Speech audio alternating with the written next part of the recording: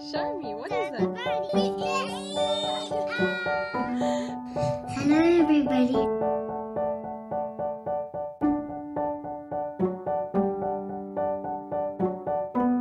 Hi, my name is Goodness. I am 11 years old. I am making a nest kind of for Easter, and my brother is making um he is painting the pages because we are going to uh, shred the paper and then make it as a nest so that the chicks can lay there. Hello everybody, I'm going to be teaching you how to make an Easter serviette The first thing you do is just press your hand and then um, cut it out and then um,